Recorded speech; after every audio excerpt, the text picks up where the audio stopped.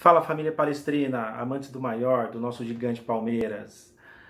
É galera, falar, falar nesse vídeo aqui é uma continuação do, do, do bate-papo de ontem, do jogo de ontem, que para mim foi fantástico. Nosso Verdão batendo mais um recorde e chegando aí nas quartas de final. Vamos encarar de novo o Atlético Mineiro, um jogo pauleira, pedreira, com certeza, os dois jogos, mas com muita raça, muita dedicação nós vamos passar por essa fase e vamos em busca aí do tri seguido, do nosso quarto título da Liberta. Mas eu quero falar desse vídeo aqui, meus, meus amigos, do, dos, do, dos gols. Né? Na, na, minha opinião, foram cinco belos gols. Né? A começar pelo cruzamento do Veiga no primeiro gol ali, que o juiz deu gol contra, mas eu, eu na verdade, vi mais gol do, do Gomes do que mesmo do, do, do zagueiro dos caras. E, e que zagueiraço a gente tem. O cara é o nosso xerife na zaga, o cara sabe desarmar e ainda faz gol. Faz gol como, atacante, é incrível. Então, para mim foi um belo gol, né? Uh, como eu falei no vídeo anterior, o, a entrada do Rony fez toda a diferença. O cara realmente deu movimentação, fez o time é, parece que vibrar, despertar, enfim. E, e foi dele, foi dele o segundo gol. Mas um detalhe importante, né? A jogada começou com o nosso goleiro. Né?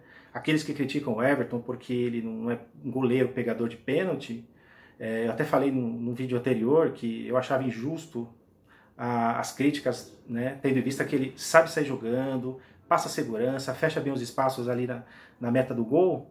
E ontem ele deu essa demonstração. Foram três toques na bola. O Everton lançou para frente, desviou, a bola foi pro Mike, o Mike rolou pro Rony. Belo gol, cara. E assim, para mim lembrou até o gol do até o gol da final que o Daverson fez, cara, lá em cima do Flamengo, é, que nos deu o título, né? O Daverson roubou a bola, chutou, o goleiro bateu e a bola morreu na no fundo do gol. O gol do Rony ontem, o segundo foi muito parecido. Para mim, um belo gol.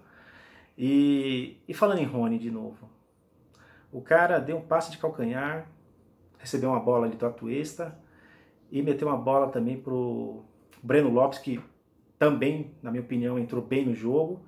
E o cara também puxou para a esquerda e fez um belo gol também. Então, o que dizer, né? Mais do quarto gol.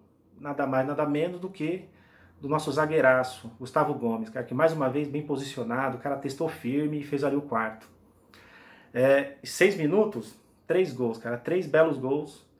E ainda para coroar, teve aquele golaço do Rony, né, cara? O cara tentou, o cara tentou, tentou, tentou. Quase todos os jogos. Ontem mesmo já tinha tentado uma vez. E ontem, no belo cruzamento do Breno Lopes, ele conseguiu fazer aquele golaço que ele tanto trabalhou, tanto batalhou para conseguir. E conseguiu. Coroou a noite, tanto dele como nossa, de todos os palmeirenses, os que estavam presentes aí, ou espalhados pelo Brasil. E foi fantástico, cara. Então, só só elogios aí pro nosso time ontem. Eu acho que o Abel fez o certo de movimentar ali um jogador, deixar alguns no banco para descansar. E como falei, eu acho que quando a gente, quando o time está bem, a gente tem que abraçar o time. Se tiver que criticar um ou outro é, jogador, a gente tem que fazer isso mesmo. O próprio Abel observa e põe o cara no banco. Mas eu acho que de todos eles, eu acho que o Everton, nosso goleiro, é o que menos merece crítica ali, né? Por conta disso que eu falei, cara. Nem todo goleiro, falei no vídeo anterior, nem todo goleiro é pegador de pênalti e nem, e nem todo goleiro é batedor de falta, né? E mas o Everton tem um diferencial, como poucos goleiros têm. Ele sabe sair jogando, cara. Então, para mim, mérito total. O segundo gol dele é, tem que ser credenciado 50% ali para ele. E é isso.